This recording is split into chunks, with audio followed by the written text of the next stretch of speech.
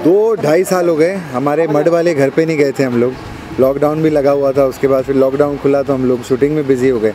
तो अभी अपने घर जा रहे हैं। गॉड मास्क से रिलीफ नहीं है, लेकिन वैसे रिलीफ है। अभी एक्साइटेड है, सब काम वाम सब शुरू हो जाएगा, सब you know Maharashtra has taken care so I am so happy अरे क्या बोलूँ? रोज़ तो बोलती हूँ ट्विटर पे। मुझे लगता है ये बेस्ट सीज़न होगा। तेरह के बाद ये सबसे बेस्ट सीज़न होगा। बहुत अच्छे कॉन्टेस्टेंट्स लिए। मुझे तो बहुत पसंद है। चल रहा है। या दैट इज़ वेरी सैड या आई होप मैं ऑल प्रे के सब ठीक हो जाए ठीक हो जाए।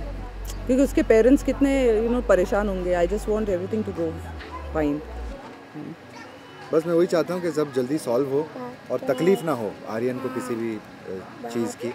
और हमारी भी सिंपति है एंड वी वांट के शाहरुख भाई को और टॉर्चर ना हो। मतलब तकलीफ़ और ना दी जाए। हम तो मैं भी यही प्रे कर रहा था कि जल्दी सब सॉल्व हो जाए। या आई विश द सेम क्योंकि अभी हम पेरेंट्स हैं सो वी अंडरस्टैंड ना? तो I really feel for Shahrukh and Gauri. I hope everything gets solve very fast and easily कौन कर रहा है? मतलब इस तरह का Govinda is a very good actor. We, uh, I really like him as an actor. बाकी I don't know anyone other than that मैं मैनेजर्स के बारे में नहीं बात करती